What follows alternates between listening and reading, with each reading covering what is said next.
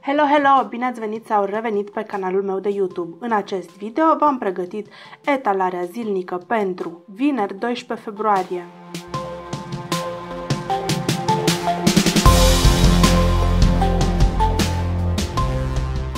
Și acum hai să vedem ce cărți o seasă pentru prima zi din anul nou chinezesc, anul bivolului de metal.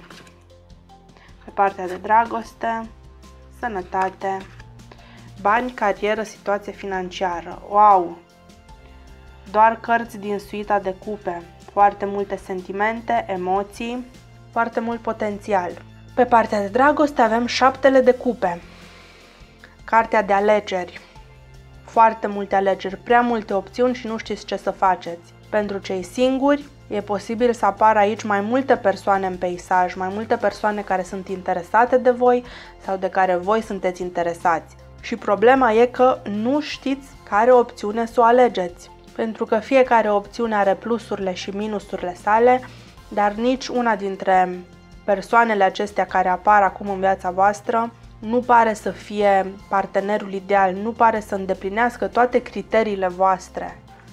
Atunci când apare șaptele de cupe, nu este momentul să faceți o decizie, pentru că lucrurile sunt încă în ceață, sunt încă neclare, aveți nevoie de informații suplimentare ca să puteți să faceți o decizie informată. Pentru cei care sunteți deja într-o relație de lungă durată, Șaptele de cupe poate să reprezinte o nouă persoană care apare în viața voastră, o persoană care e interesată de voi, care vă face avansuri romantice, dar aveți foarte mare grijă aici pentru că sub această energie de șapte de cupe e posibil ca voi să nu vedeți lucrurile clar și există o foarte mare posibilitate ca voi acum să nu puteți să vedeți toate minusurile pe care această persoană nouă le are de fapt, doar pentru că nu puteți să petreceți suficient de mult timp alături de el sau de ea. Și când faceți comparația între partenerul vostru actual pe care deja îl cunoașteți, la care știți toate plusurile și minusurile, versus această persoană nouă pe care o romantizați, pe care o idealizați doar pentru că n-ați avut suficient contact cu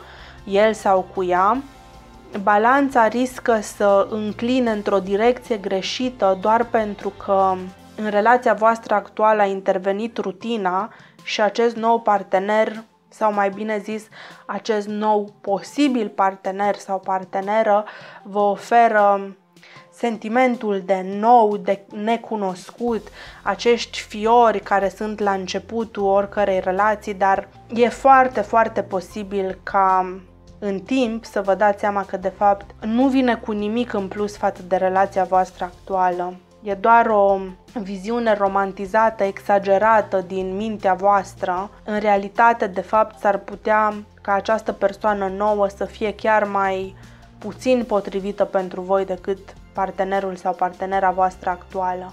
Așa că mare grijă aici, cu șaptele de cupe, nu luați decizii drastice azi, nu faceți schimbări radicale în relația voastră, în viața voastră sentimentală, pentru că riscați să faceți alegerea greșită. Riscați să vă lăsați intoxicați de aburii acestor șapte cupe și să nu vedeți realitatea așa cum este ea. Pe partea de sănătate avem pajul de cupe, o energie foarte veselă, foarte copilărească, fără griji, fără probleme.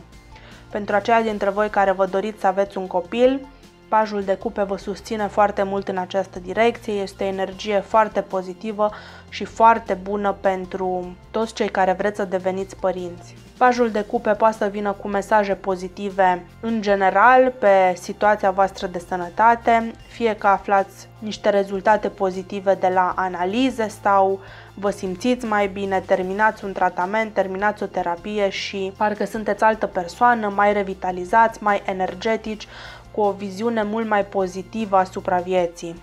Chiar dacă acum sunteți într-un moment foarte frumos, foarte pozitiv, foarte bucuroși, plin de energie și voie bună, este foarte important să nu uitați care au fost lucrurile care v-au adus în această stare și să conștientizați că riscul pentru a reveni din nou la starea din trecut va fi mereu prezent acolo în viața voastră. E foarte important de acum înainte să demonstrați că ați învățat lecțiile trecutului și că nu o să mai repetați aceleași greșeli. Pajul de cupe vă dă o nouă șansă, un nou început, dar este în mâinile voastre ce faceți de aici încolo cu acest nou început. Dacă o să reveniți la aceleași pattern din trecut, la același stil de viață, la aceleași acțiuni și activități din trecut, rezultatul poate să fie din nou același, starea precară de sănătate pe care ați avut-o înainte să ajungeți aici. Prin urmare, mesajul acestei cărți este să vă bucurați de rezultatele muncii voastre, de rezultatele efortului vostru, dar nu uitați unde ați fost și unde ați ajuns și nu uitați să faceți zi de zi acele alegeri care vă garantează că nu o să ajungeți din nou la situația precară de sănătate dinainte. Pe partea de bani, carieră, situație financiară, avem iarăși un as. Dacă ieri am avut asul de săbii, o nouă idee, un mesaj nou, pozitiv, care vă ajută să luați deciziile corecte în privința carierei voastre, astăzi avem asul de cupe, asul emoțiilor și al sentimentelor. Sunteți foarte mulțumiți, foarte împliniți de această nouă traiectorie, nouă direcție pe care ați luat-o în cariera voastră. V-ați redobândit entuziasmul și plăcerea de muncă. Și acest lucru este foarte important pentru că petrecem foarte mult timp din viața noastră la locul de muncă și dacă reușim să facem din acesta un loc care să ne aducă și împlinire emoțională și împlinire spirituală pe lângă siguranța materială, pe care o avem din jobul nostru, din cariera noastră, facem lucrurile mult mai ușoare și mult mai plăcute și toată această energie plăcută, ușoară, pozitivă se va răsfrânge și asupra celorlalte zone ale vieții noastre. Atunci când apare asul de cupe pe etalarea de carieră, energia pe acest domeniu este foarte pozitivă pentru toți cei care vor să pornească o afacere, să scrie o carte, sau pentru toți cei care vor să revină la un vis din copilărie și să îl facă realitate. Puteți să aveți foarte mare succes și foarte mare împlinire în această direcție.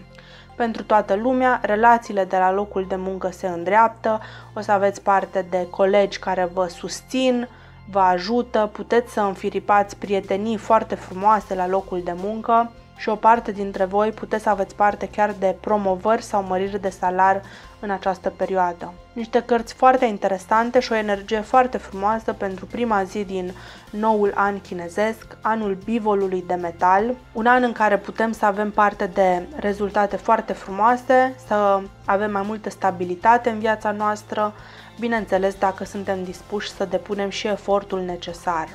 Dacă vreți mai multe detalii, cu privire la acest an din calendarul chinezesc, puteți să urmăriți videoul care apare acum în colțul din dreapta sus, în care fac analiza perioadei dintre 12 februarie 2021 și 31 ianuarie 2022, perioadă în care, după calendarul chinezesc, o să trecem prin anul bivolului de metal. Și înainte să finalizăm acest video, vreau să vă scot și un card de înțelepciune un mesaj suplimentar pentru această zi. Hai să vedem ce au de spus cărțile oracol, ce mesaj suplimentar ne pot da pentru această zi. Mă înalț deasupra tuturor limitărilor. De fiecare dată când întâlnesc o problemă dificilă în viața mea, îmi folosesc experiența ca să învăț și să fac progrese. Un mesaj foarte frumos care ne îndeamnă să vedem oportunitatea din fiecare problemă, să nu uităm niciodată că toată viața este de fapt o lecție, un traseu evolutiv și este alegerea noastră dacă ne folosim de pietrele pe care destinul ne aruncă în față ca să ne împiedicăm de ele sau le punem una peste alta ca să ne construim o rampă către succes. Vă mulțumesc că a stat cu mine până la final. Ne vedem și mâine. Pa, pa!